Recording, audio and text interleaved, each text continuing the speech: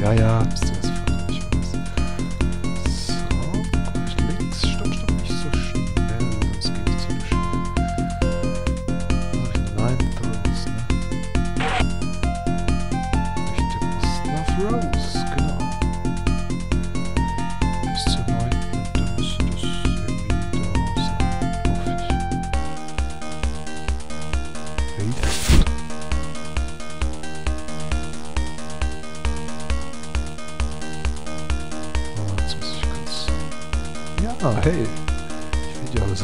schwer ist es ja gar nicht eigentlich.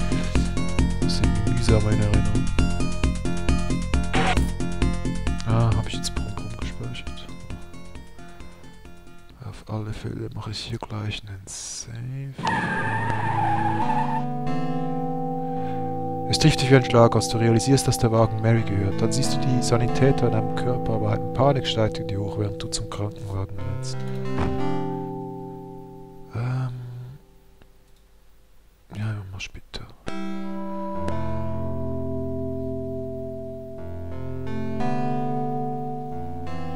Oh nein, denkst du, das kann einfach nicht sein, nicht Mary.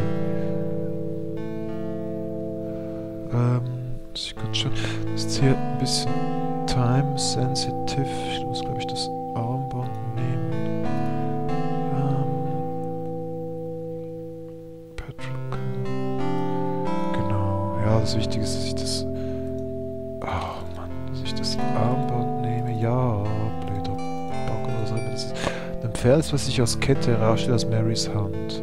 Du schaust die zerrissene Kette an und überlegst, Mary muss sie dem Angreifer Hals gerissen haben. Du legst weiter. Ich frage mich, ob sonst noch etwas an dieser Kette war. Wir sind bereit. Wenn Sie mitkommen wollen, steigen Sie besser ein, Officer.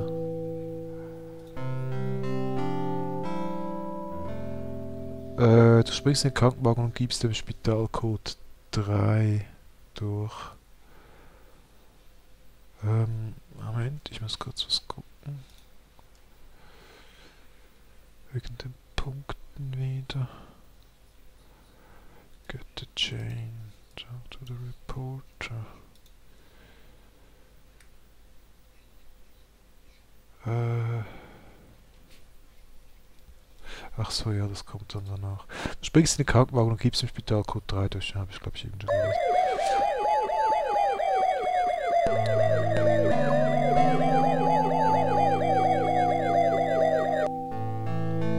Mary mit Blaulicht in die äh, Littoner Notfallstation gefahren, wo Ärzte den Wettkampf mit der Zeit beginnen, um ihr Leben zu retten. Sie kämpfen die ganze Nacht, um den Zustand von Mary zu stabilisieren. Sonny verbringt Stunden der Angst im Wartezimmer. Obwohl sie, sie, äh, obwohl sie ihr Leben retten können, bleibt Mary im Koma.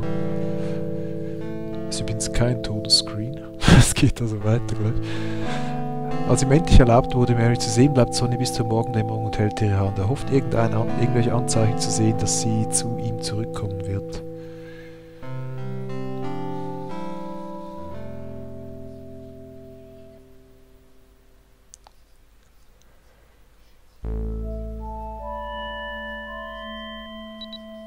Uhr zwölf.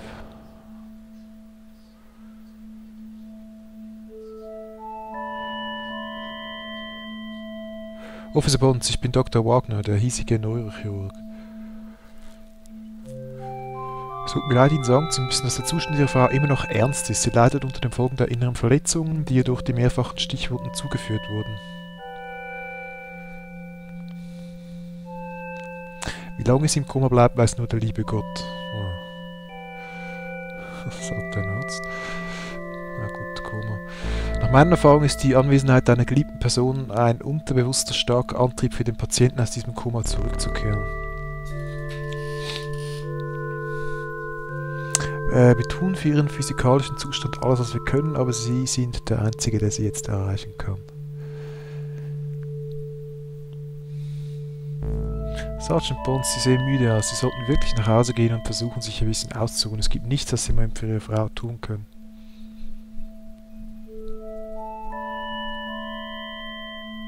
Können uns alle über die Tatsache freuen, dass Mary am Leben ist. ja, gut, ja.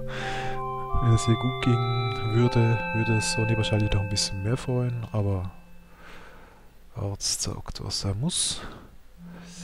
Glaube, momentan können wir, glaube ich, wirklich noch nichts machen hier. Können Sie mal anschauen. Schöne Grafik. Deine geliebte Frau liegt be bewegungslos im Koma. Du wünschst dir, es gäbe einen Weg, um herauszufinden, was sie gerade denkt, was sie noch denkt. Äh, ja, das hatten wir gerade. Die Digitalanzeige zeigt Marys Infusions... Äh, was? Infusomat... In, äh, Infusomat-Dosierung. so schwer ist es eigentlich nicht. Der EKG-Monitor registriert die Herzschläge deiner Frau. Sein konstanter Piepton gibt dir wenig, gibt dir ein wenig Trost. Der rote Button, das ist der Rufknopf. Du drückst auf den Rufknopf und hoffst, dass die Krankenschwester bald kommt. ja, wir drücken den Rufknopf noch ein paar Mal mehr.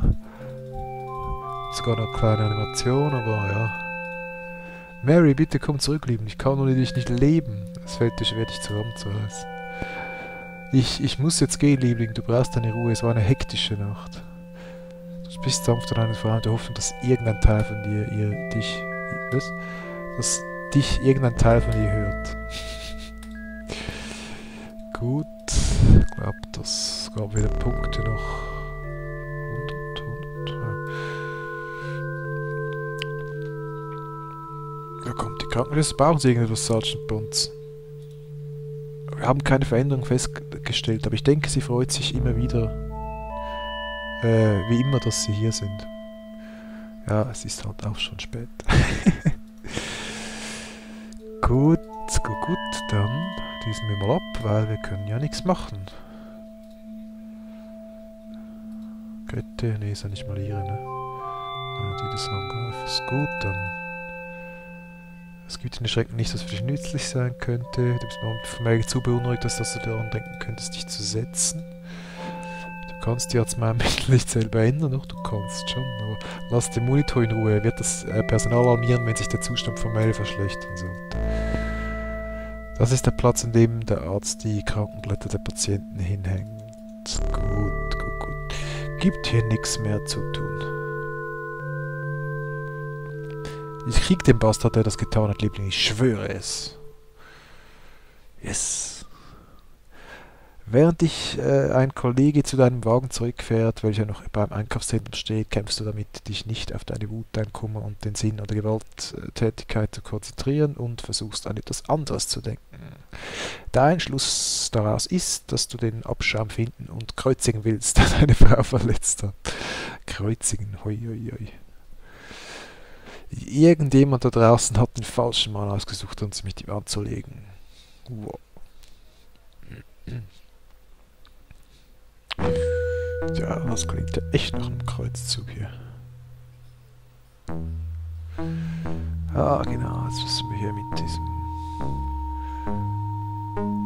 reden. Sieht so aus, als ob noch jemand ins Gras gewissen hat oder. Ich habe gehört, dass sie warten, bevor das Opfer weggebracht wurde, haben sie irgendwelche Worte der im Sterben liegenden Person gehört. Gibt es Anzeichen für sexuelle Gewalttat? Überhaupt irgendetwas?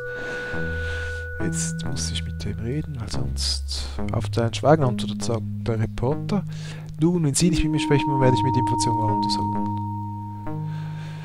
Hör mir gut zu, du kleines blutsaugendes Stück Dreck, das Opfer meiner Frau, ihr seid, ihr seid alle gleich. Ui, seid mit T.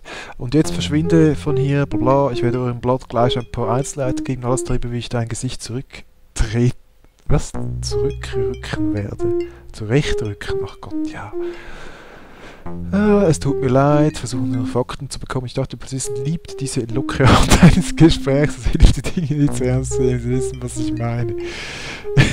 ja. Hier ist meine Karte und sonstiges Gewäsch. Officer, rufen Sie mich an. Nochmals, tut mir leid wegen Ihrer Frau. Ja, wenn es nicht immer zu schnell wäre, würde ich es ja richtig vorlesen, aber meistens kriege ich es ja sowieso nicht hin. Du hast dich wegen deines Ausbruchs einen Moment ein schlechtes Gewissen und sagst beinahe Danke, aber glücklicherweise geht es dann schnell vorüber. Genau, denn jetzt ist der Moment... Oh verdammt, ich habe meine Waffe liegen lassen im Locker. Ähm, ja. Ich könnte sowieso nicht über den Haufen wissen. Ich hoffe, das hat keine Minuspunkte gebracht. Vielleicht sind das jetzt die Punkte, die mir fehlen, weil ich die Waffe liegen lassen habe. Ja, ich hoffe es nicht. Gut, dann werden wir den Tatort mal absuchen. Und zwar werden wir jetzt das ähm, klassischste aller Adventure-Rätsel lösen. Und zwar benutze Batterien mit Taschenlampe. Ja, okay, benutze äh, Benzin mit Kettensäge ist auch klassisch, aber kommt etwa das gleiche raus, ja? Dann wird die Taschenlampe, du schaltest die Taschenlampe, deine Taschenlampe ein und beginnst den Ort des Geschehens abzusuchen.